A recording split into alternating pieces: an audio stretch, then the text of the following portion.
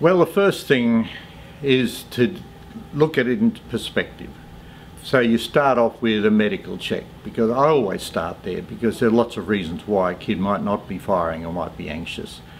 Then you look at it, say, a context check. Where's it happening? After school? Before school? Just in the mornings? Is it just where, where and when is it happening? Then you, you can do a parent self-check. And, and uh, am I anxious? Is that being transmitted to the children? Uh, we can do a management check. Is it the way I'm managing? For instance, if I respond to every anxious feeling my kids do, is that actually reinforcing their anxiety because they get more attention?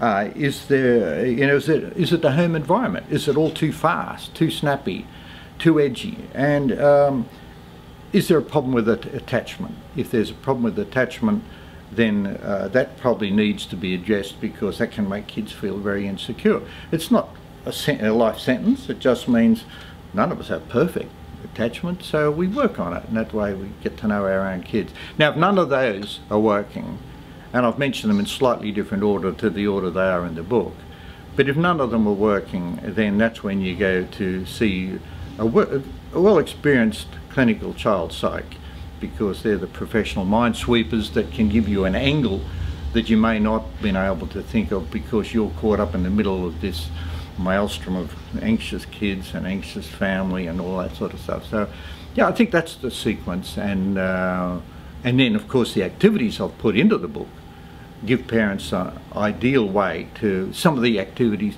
and games they can try that will show the kids, hey, this can be fun to actually beat this worry bug.